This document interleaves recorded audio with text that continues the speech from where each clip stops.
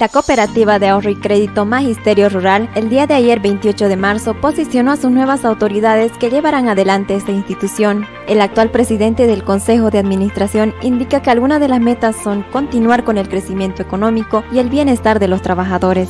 Comprometido y con un reto muy importante para cumplir con las metas que nos hemos propuesto en los diferentes planes, tanto estratégico como el plan financiero. Las principales metas en sí, continuar con el crecimiento económico, pero no solamente es importante el crecimiento económico, porque toda la cooperativa como organización, como sistema, es todo, todo un sistema, reitero, porque intervienen diferentes elementos. Queremos que, aparte de crecimiento económico y demás cosas, se contribuya al bienestar de todos los trabajadores, que los, que los trabajadores se sientan a gusto de hacer lo que hacen y los socios también de recibir los servicios que brinda la cooperativa.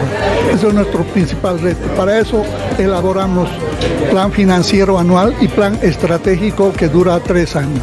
De igual manera, la presidenta del Consejo de Vigilancia manifiesta que se encargará de cumplir toda la normativa para que sea una institución transparente y así lograr los resultados que todos los asociados desean. Seguimos paso a paso todo y cada uno de los aspectos que se toman en las diferentes áreas que trabaja la cooperativa.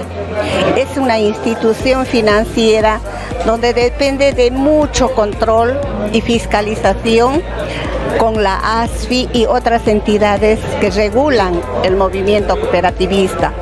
Entonces, nosotros tenemos que cumplir toda la normativa al pie de la letra para que esto llegue adelante, sea una institución transparente y tengamos que tener los resultados que cada uno deseamos como cooperativistas.